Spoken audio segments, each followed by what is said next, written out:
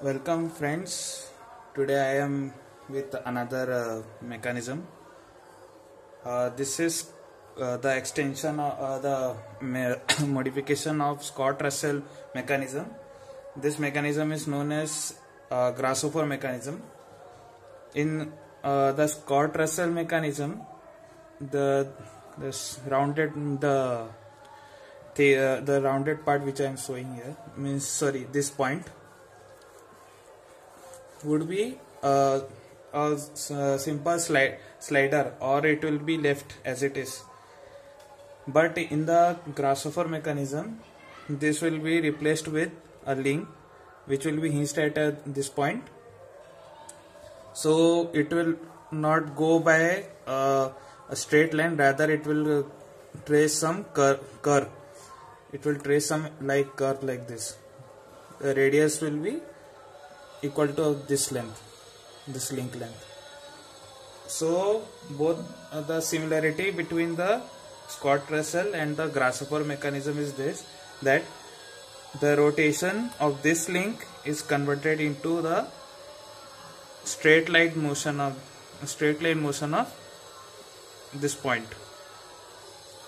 Here we can uh, uh, rotate actually using a crank but uh, the rotation is here uh, will be uh, objected here in this case.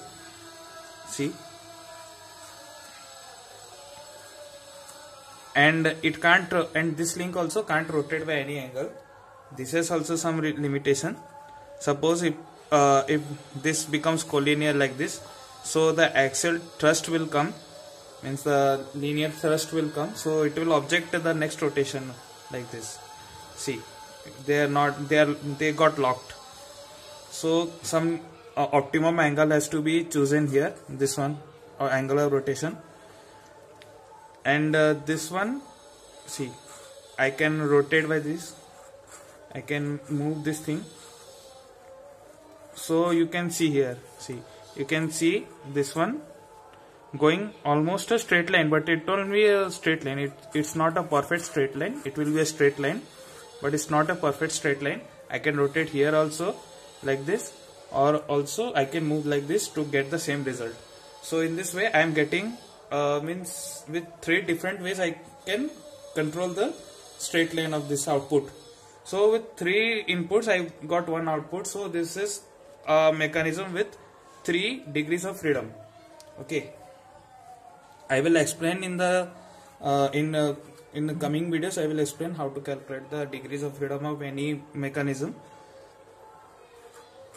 So th- this is the Scott Russell mechanism. Thank you